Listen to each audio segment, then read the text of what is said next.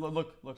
Gift, Reverend Short has offered to use his body uh, As a vessel for his alien friend This is Corton. literally life We're proof. going to have and you over here. Is that okay? No, I have to be sitting in the southeast, Lewis, always.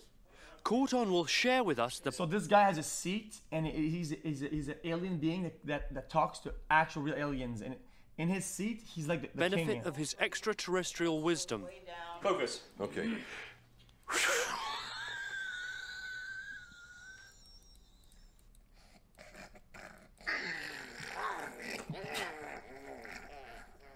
He's connecting.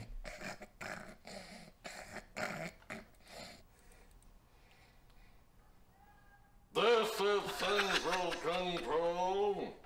This is Central Control. Stand by. E. Omega Lul. Central Control, this is Addy. Central Control, this is Addy. On behalf of the Honorable Corton Representative, we are ready to begin with the information which we have for these individuals in this time period. Let us begin with the individual who's to the left forefront of the instrument. You state your first name.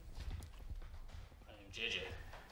And within uh, the next um, four to six of your Earth months, um, there will be a dramatic change um, in your um, life activity um, so that it would give you a more rounded character to pursue, um, modeled after another individual. Um, and this one has the initials um, MJF. Um, is that known to you? Um, You think Michael J. Fox?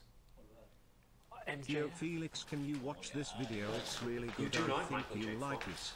it. Link, link. It would be safer profession to. What is that? To, to go straight. Right. Do do legitimate movies. very well. Um, Another question, Mike. See, I told you it was real. Something about the Course in Miracles.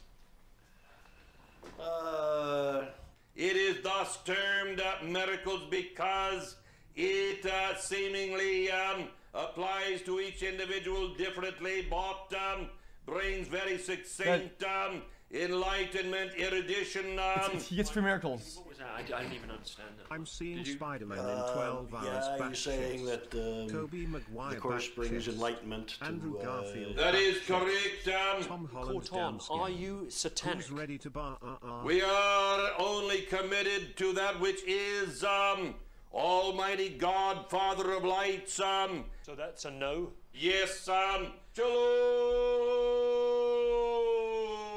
Uh, On behalf of the Honorable Corton Representative, we are ending our transmission.